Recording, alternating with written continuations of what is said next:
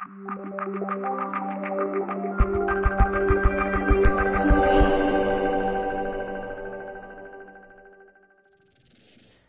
the most amount of money that you've ever made in a week? What's the most amount of money you've ever made in a month? How about a year?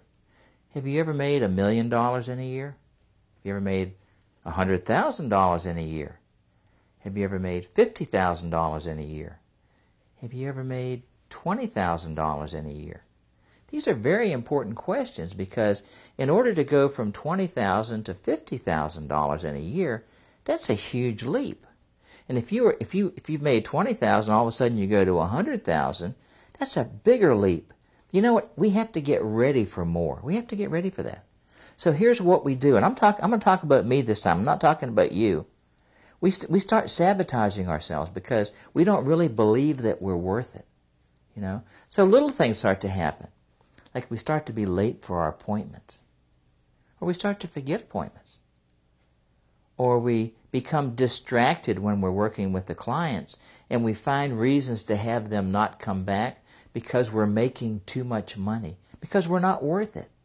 Now, believe me, I mean, I'm, I'm telling you about me. You know, when I was a kid, my dream was to make a dollar an hour. If I could only make a dollar an hour, I would be happy. And then by the time I was mm, 20, 19 or 20, I was making $2 an hour. That was 45 years ago. That was pretty good money, you know. My dream, if I could only make, if I could make $2 an hour, then I, then I bought my first business. I bought my first real company. I'd had lots of companies. I'd laid brick and I'd done all kinds of handyman work and stuff, but I bought my first real company. It was a gas station. And that year, I made $80,000. And I became very irresponsible. I became very irresponsible and I started drinking and doing stupid stuff. You know why? Because I was sabotaging it. So I thought, well, but that's eighty thousand a year. And I thought, well, and then eventually I got to where I was making a hundred thousand a year. And then I got into the massage business, and it went off the charts. You know why? Because I loved it. You know, I mean, I made a living teaching Pilates. I made a fortune doing massage. And pretty soon, I was not doing all the little things I used to do. Like, you know, I mean, it's really important to, after every client got up, I would have a glass of juice for them and a glass of water. Little stuff. Because I want to get a little more sugar, little sugar into their system and then, then get, wash out some of those toxins. And I stopped doing that stuff. You see, when I was in the practice, I had two massage rooms side by side. And I would go from here to there to here to there all day long. And while one person was getting up and, and, getting off the table, the next person was getting on the table and getting ready. And it got so good, I couldn't hardly stand it. I couldn't hardly stand it. And, and you know, it was just an amazing process. But then I started sabotaging it. Well, I looked around me. And at one time, I had 76 people working out of my office on Connecticut Avenue.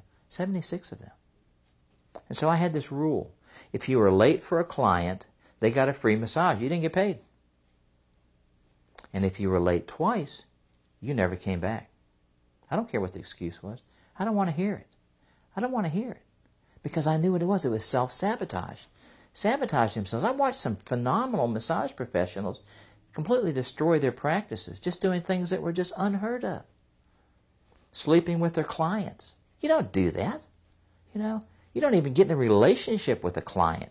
If you if you want to get in a relationship, you get away from there and stop having them for a client then you can do whatever you want to. That's it's not appropriate to have relationships with clients. But I watch people destroy their practices after that, after that stuff.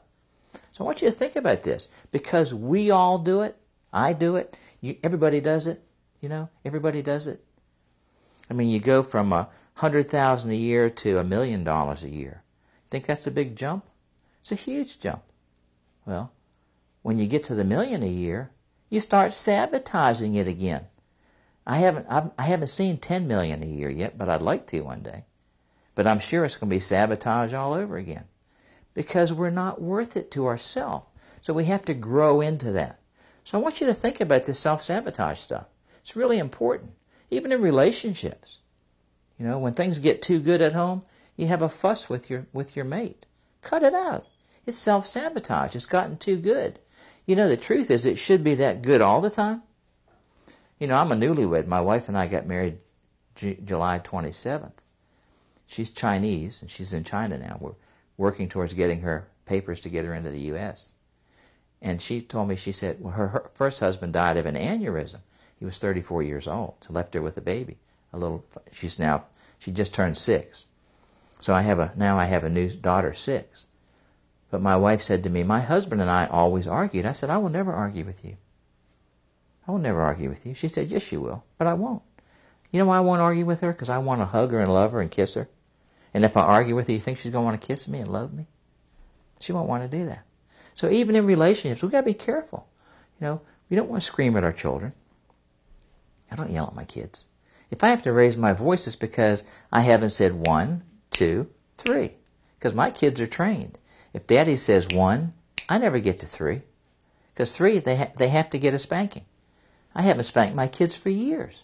You know why? Because they understand one, two. I have to say, ah, blah, blah, blah, blah. I don't do that stuff. Think about that. Do not sabotage your business and do not sabotage your relationships because you're really important to somebody else.